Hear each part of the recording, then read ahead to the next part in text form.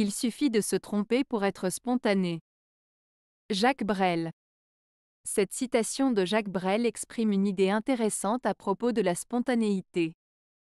En effet, elle suggère que la spontanéité n'est pas nécessairement une qualité qu'une personne possède naturellement, mais plutôt quelque chose qui peut être atteint en acceptant l'imperfection et en étant prêt à se tromper.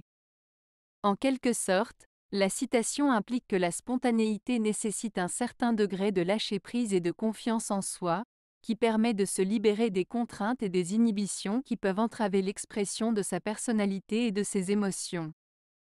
En fin de compte, cette citation de Jacques Brel nous rappelle qu'il est important de ne pas avoir peur de se tromper ou de faire des erreurs dans la vie, car c'est précisément de ces moments de vulnérabilité que peuvent naître l'authenticité et la spontanéité.